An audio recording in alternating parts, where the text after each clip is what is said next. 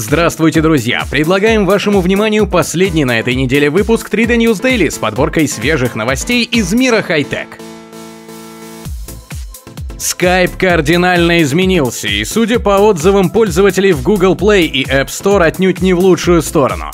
Видимо, Microsoft так хотела сделать свой мессенджер похожим на Snapchat, что хватило через край. Интерфейс изменился до неузнаваемости, точнее в нем как раз таки узнается популярный конкурент, но отнюдь не тот Skype, к которому все привыкли.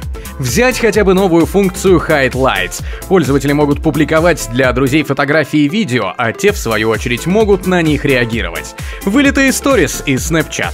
Низкий рейтинг приложения в мобильных магазинах Apple и Google говорит сам за себя. Есть те, кто хотели подобный редизайн и в итоге остались довольны, но основной массе пользователей не понравился новый облик Skype. HMD Global, владелец бренда Nokia, объявил о партнерстве с Carl Zeiss. Финские аппараты много лет использовали оптику немецкого производителя, а сама Nokia зачастую преподносила это как одно из важнейших достоинств своей продукции.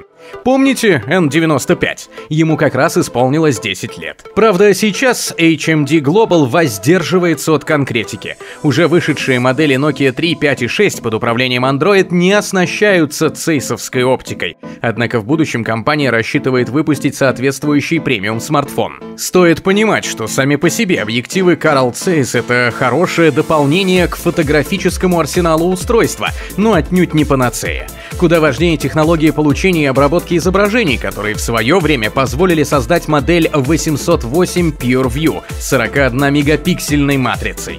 Новые смартфоны с надписями Nokia и Carl Zeiss будут создаваться уже другими людьми, ведь инженеры, которые разработали технологию PureView, разошлись кто куда, в том числе и конкурентам. Так что HMD Global придется с нуля создавать репутацию для своей продукции. Студенты Королевского колледжа искусств в Лондоне Дани Клод создала третий большой палец. Это уже не протез, а настоящая аугментация, ведь он не заменяет часть тела, а добавляет новую. В конструкции нет ничего футуристичного. За тросики, сгибающие палец, тянут электромоторы в браслете, а управление осуществляется с помощью датчиков давления в обуви, которые общаются с браслетом по Bluetooth. На словах эта схема кажется не очень удобной, но Дани уверяет, что люди осваиваются очень быстро. А что вы хотите? Пальцев много не бывает, особенно во времена 6-дюймовых смартфонов. Если вы уже захотели себе лишний палец, придется подождать, пока это только прототип. Больше новостей ищите на 3dnews.ru и не забудьте подписаться на наш канал. До встречи, друзья!